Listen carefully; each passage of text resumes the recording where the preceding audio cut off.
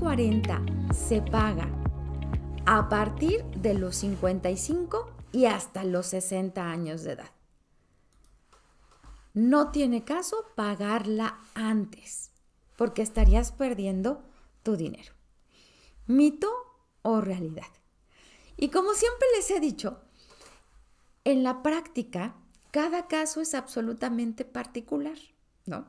A mí, eh, cuando una persona viene en la consulta privada y me dice, oiga, es que yo tengo 52 años de edad y quiero empezar a pagar mi modalidad 40 o me dicen que me espere, ¿lo puedo hacer de una vez? Y si usted recuerda, en el programa de octubre, cuando revisamos el fundamento de la continuación voluntaria en el régimen obligatorio, que lo es el artículo 218 de la ley del Seguro Social, no me habla de una edad, ni me habla de un plazo máximo de pago. Entonces, nada más dice que es un derecho del trabajador continuar cotizando de manera voluntaria, pero no me dice la edad. En la práctica, eh, suele ser muy ligero decir, la edad que te conviene para pagar la modalidad 40 es a partir de los 55 años y hasta los 60. Porque como lo hemos dicho en otras transmisiones, esto es un seguro.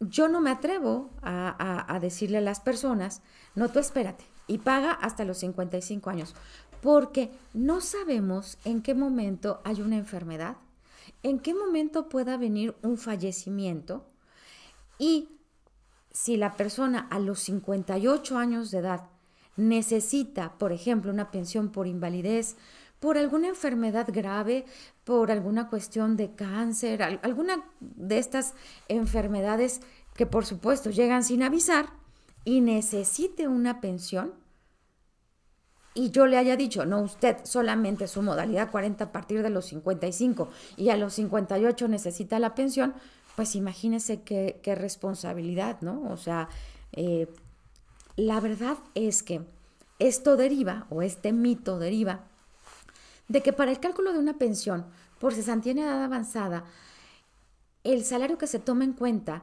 como uno de los tres elementos para el cálculo de la pensión es el salario de las últimas 250 semanas cotizadas. Por eso es como muy fácil decir, a ti te conviene entrar a la modalidad 40 hasta los 55. Antes no. Pero, pues cada caso es particular. Recuerde que además a partir de este año 2023, el monto de lo que se paga por la modalidad 40 va incrementándose año con año.